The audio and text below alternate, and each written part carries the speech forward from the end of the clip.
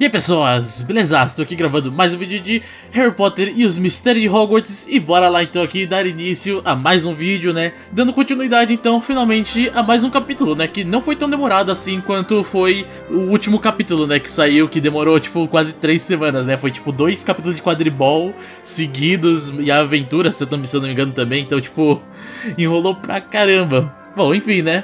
Que bom que isso aqui saiu rápido então, né? O capítulo 23 do sexto ano. Então vamos lá então, né? Saiba o que Ben está pensando. Encontre-se com Ben e Merola no Cabeça de Javali. Ninguém vai mais nas Oncos. Verdade, a gente nunca mais foi lá nas Oncos, meu Deus. Você está dizendo que tem serragem na sua cerveja manteigada? Com o nariz entupido, até dá pra suportar o cheiro deste lugar. O que você queria falar com a gente, Ben? E por que tivemos que vir até aqui? Uma coisa de cada vez, quando Dumbledore chamou você para conversar, Finceloy, sobre o que era. Qual das duas vezes? é tipo isso. O cara chamou duas vezes quase que seguidas, né? Meu Deus do céu. Dumbledore te chamou para conversar duas vezes? Nossa, é verdade, né? A última vez que a gente falou com o Ben foi naquela vez que ele chamou na primeira vez, né? Ele deve ter descoberto sobre o Círculo de Cana. Ele já deve saber desde a hora que a gente falou, vamos criar o Círculo de Cana. Ele já deve ter estado lá assim, tipo, eles estão criando um grupo secreto. Não, da primeira vez Dumbledore só falou sobre luto. Da segunda vez, ele me pediu para levar a Lanza Alves para conhecer Hogwarts. Eu não estou nem aí para essa aluna intercambista da Castelo Bruxo. Como assim, Ben? Tá louco? Tem que estar tá aí pra ela sim, claro. Ela parece ser mó legal, espero que ela apareça de novo, né? Pois acho que devia estar. A X contou a ela sobre o Círculo de Cana. É, tem isso também, né? A Lanza já estava desconfiada, eu tive que contar pra ela. Imagine se não fosse uma organização secreta. Pois é, né? se secreta já tá assim, né, falando pra todo mundo. Então Dumbledore só queria falar sobre a Lanza e dar uma aula sobre luto. É isso? Aula sobre luto? Sim, ele me chamou e disse que eu devia deixar meus sentimentos fluírem. Ah, chamou você também então. Caraca. Ele me disse umas coisas sobre não me deixar dominar pela raiva. Acho que seria tipo ser dominada né, pela raiva, não deixar dominar pela raiva. Acho que faz sentido ele querer saber como estamos. É claro que faz. Nós somos aqueles que viram Ron morrer. Até quando estou indo pra aula, as pessoas me olham de um jeito estranho. As pessoas sempre te olham de jeito estranho. A cada ano que passa, você fica mais esquisito. real, mano, muito real. Mas eu sei o que Ben quer dizer. Eu também recebo esses olhares de coitadinho. Você não odeia esses olhares? É, mais ou menos, acho que até é interessante. Não, eu gosto de saber que as pessoas entendem pelo que eu estou passando. Pois eu odeio, afinal, eles nunca vão entender de verdade. Parem de reclamar, Ron não morreu saindo do nada para salvar nenhum de vocês. Por que não para de fazer da morte do Ron algo só sobre você? Pois é, né? Toda hora ele tá falando que é sobre ele só. Vocês dois, parem! Ron estava lá por minha causa. É, dessa eles não sabiam. Sim, foi por isso que eu chamei vocês aqui. Você mencionou que Ron estava te seguindo naquela noite.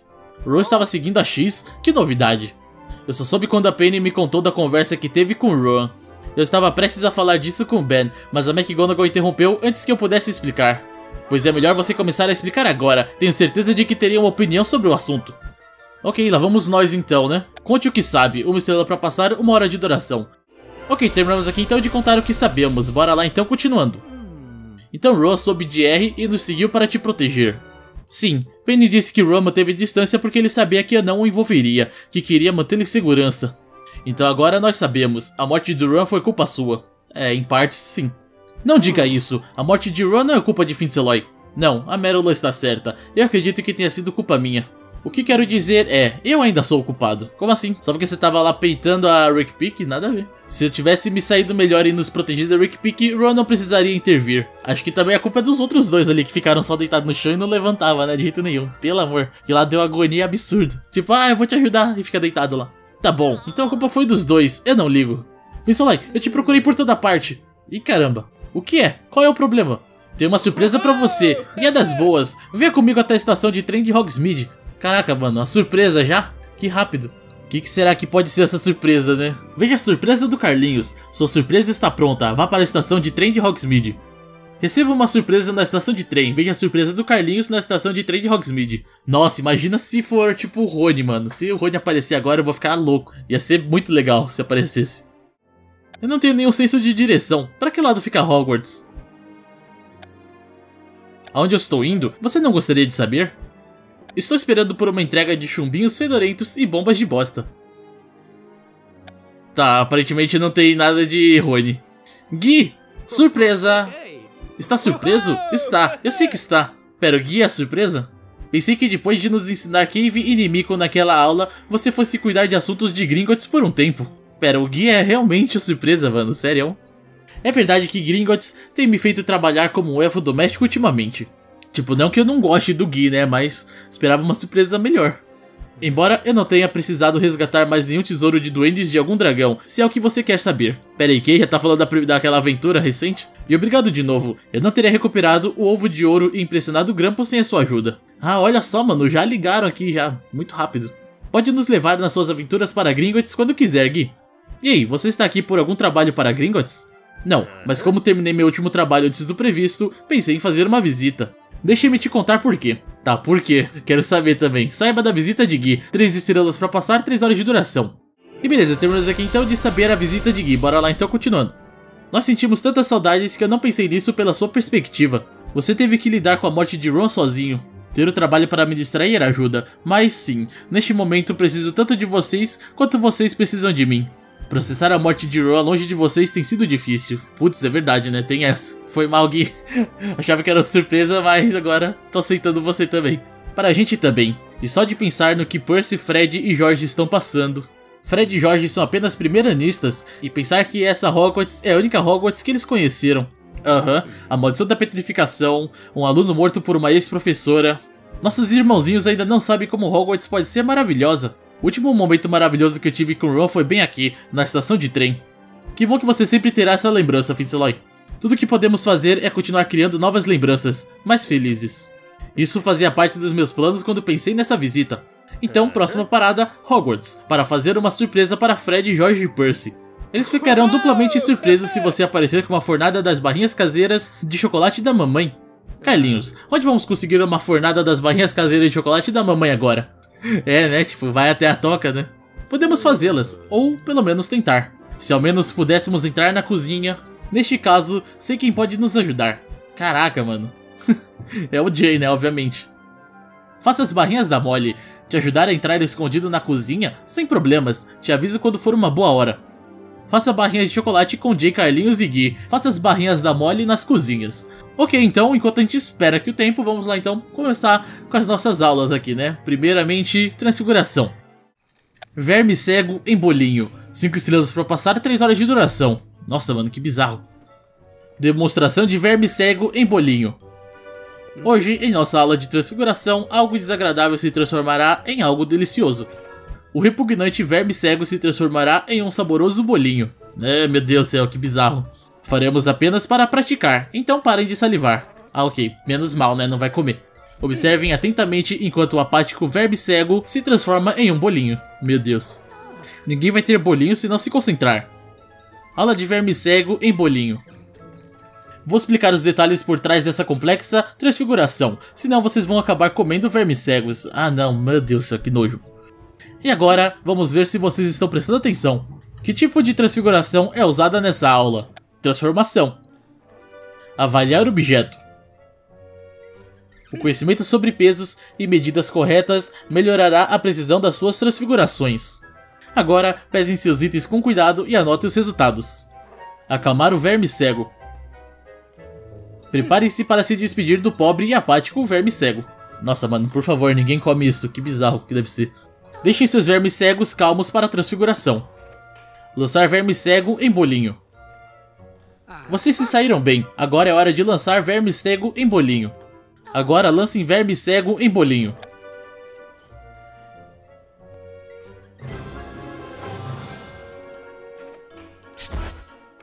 Meu, olha isso, tem uns pedaços de verme cego no bolinho, que bizarro. Ah, que nojo. E beleza, terminamos aqui então a aula de transfiguração e aprendemos a transfigurar verme cego em bolinho. Bora lá então, continuando nossa história. Obrigado por nos ajudar a entrar na cozinha sem que ninguém visse, Jay. Já que eu nunca vou sair da detenção mesmo, não tenho nada a perder. Ai meu Deus, ele tá tipo... Você vai ter que voltar pra Hogwarts depois que você se formar pra cumprir a detenção. Mas estou surpreso que você tenha topado correr o risco de ser mandado pra detenção de novo, Finceloy. Até que eu gostava um pouco da detenção, né? Tipo, era um pouco. Era um, um lugar um pouco diferente, né? Pra gente ficar. E também pra espairecer um pouco, né? A mente. Se não fosse pela detenção, nós não teríamos ficado amigos, Jay. Até que eu gostava da detenção. Nós nos divertimos mesmo, não é a mesma coisa sem você. Bem, eu não vou pegar nenhuma detenção, é uma das vantagens de se formar. A lendária barrinha de chocolate da mamãe vale qualquer detenção. Ela fazia uma fornada sempre que algum de nós tinha um dia ruim, isso sempre nos animava. Então vamos logo botar a mão na massa. Onde está a receita? Meu Deus, só falta eles não terem a receita, né? Receita? Ah, meu Deus. Vocês não têm a receita da sua mãe? E os ingredientes? Eu sei que ela usa chocolate e provavelmente açúcar. Meu Deus do céu. E mamãe é muito boa em lançar feitiços enquanto cozinha. Parece que precisaríamos usar um pouco de magia. Isso vai ser mais difícil do que eu pensei, mas para a sorte de vocês eu sou um bom cozinheiro. Caraca, o Jay cozinhando? Caraca. Você sabe cozinhar? É a primeira vez que eu escuto falar sobre isso. Eu não divulgo isso, não quero que o Pitts tenha ideias. Ainda assim, sem receita, como vamos fazer as barrinhas de chocolate da senhora Weasley? Conheço um feitiço de comida que pode deixar a nossa barrinha de chocolate com o gosto da feita pela senhora Weasley. Pera, que bruxaria é essa? Por favor, mostre pra gente como fazer isso enquanto cozinhamos. Ok, lá vamos nós então, né? Faça barrinhas Weasley, 5 estrelas para passar, 8 horas de duração. E beleza, temos aqui então de fazer as barrinhas Weasley, bora lá então continuando. Caraca, mano, aparentemente saiu, né? As barrinhas estão prontas.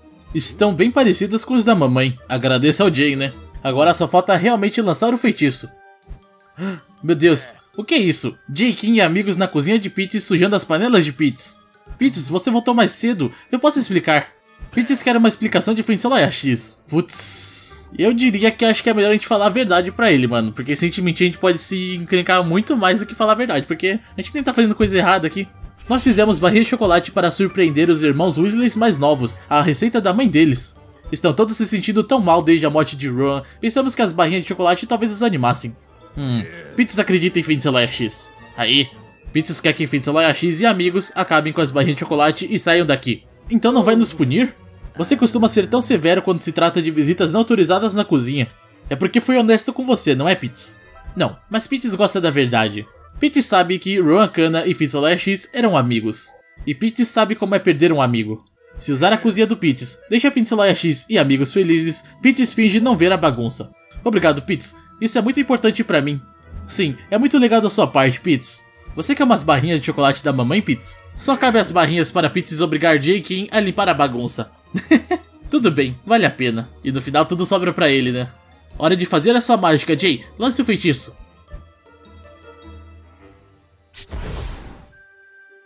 Valeu, Jay. Deu certo?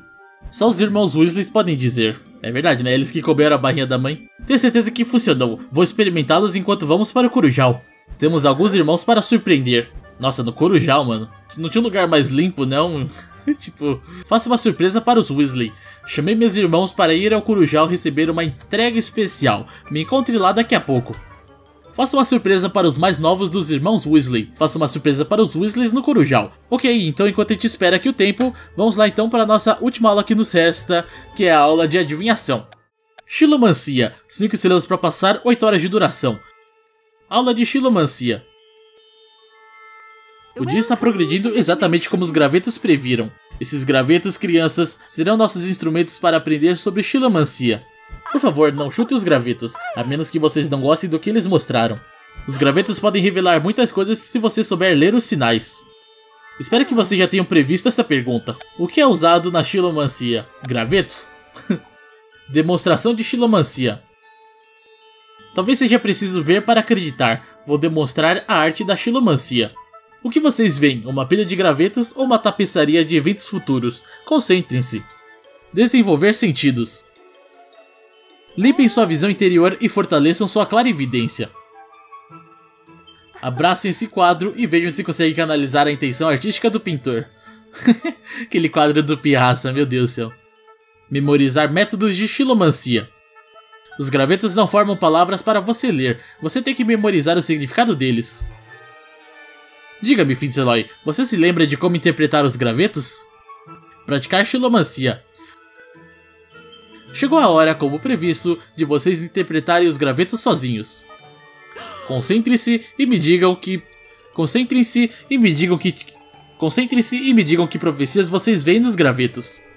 E beleza, terminamos aqui então a aula de adivinhação e aprendemos xilomancia. Bora lá então continuar nossa história. Então Percy, Fred e George acham que eu chamei para pegar uma carta no Corujal. Imagine a surpresa deles quando descobrirem que a entrega especial sou eu e as barrinhas da mamãe. Genial! E o feitiço Água na Boca que o Jay lançou fez com que as nossas barrinhas tivessem o sabor das da mamãe. Carlinhos tem razão, eu mesmo experimentei. Acho que eu estou ouvindo seus irmãos chegando, vamos nos preparar.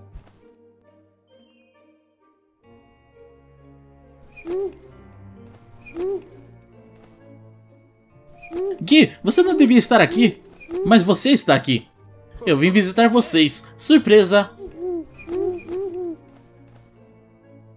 Você trouxe barrinhas de chocolate? São as da mamãe? Nós fizemos juntos, então não são as da mamãe, mas chegam perto. O Corujá não é o lugar mais higiênico para trazer barrinhas. Pois é, foi o que eu pensei. Não deixamos nenhum pássaro chegar perto deles. Prove, Percy, você verá. Mamãe faz as barrinhas para nos animar quando algo horrível acontece. E que coisa horrível aconteceu agora? Como assim, Percy? O guia está aqui, as barrinhas da mamãe estão aqui. Qual é o problema? Digam logo. O que houve, Gui? Mais alguém morreu ou se transformou em estátua? Mamãe, papai, Gina ou Rony, todos em casa estão bem? Está tudo bem, eu juro. Sim, o Gui fez essa surpresa para que pudéssemos ficar juntos. Diga você, Fitzroy, você acha que está tudo bem? É, até o momento, né, até o presente momento, sim.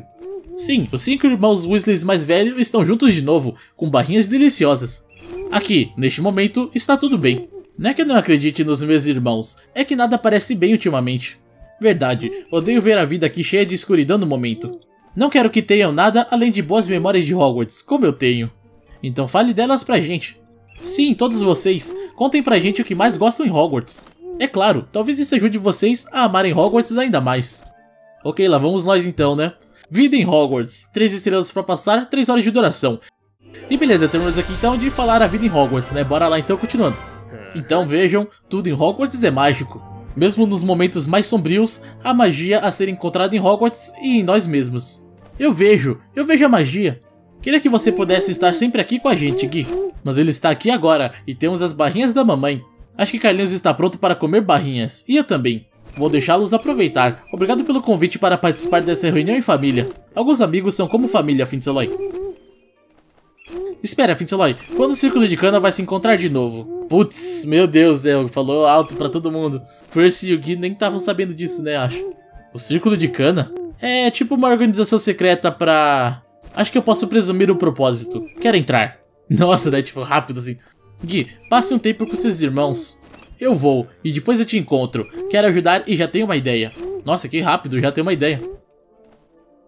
Encontre-se com Gui. Meus irmãos e eu ainda estamos nos divertindo e comendo barrinha de chocolate. Falo com você mais tarde. Saiba qual é a ideia do Gui. Encontre-se com Gui na sala de defesa contra as artes das trevas. Oi Gui, eu trouxe o Ben e a Merula como você pediu. Eu não tenho interesse em aulas de artes das trevas, se é disso que se trata esse encontro. Trata-se do Círculo de Cana.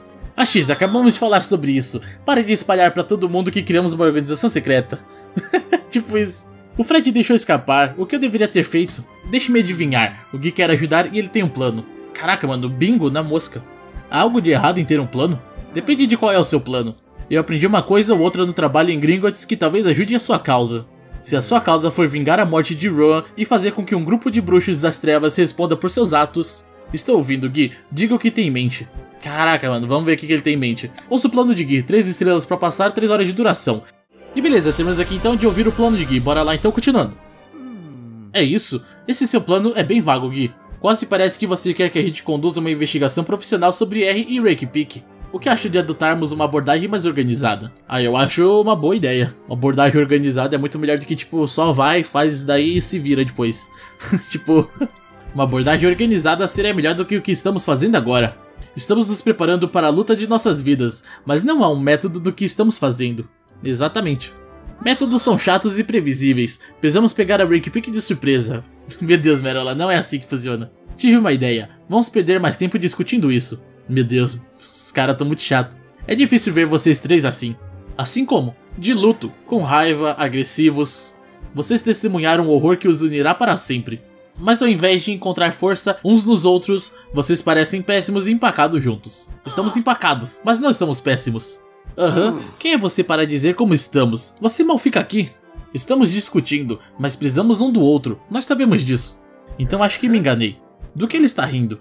Imagino que seja porque ele acabou de nos fazer agir como um time. Uma estratégia que ele aprendeu em Gringotts, sem dúvida.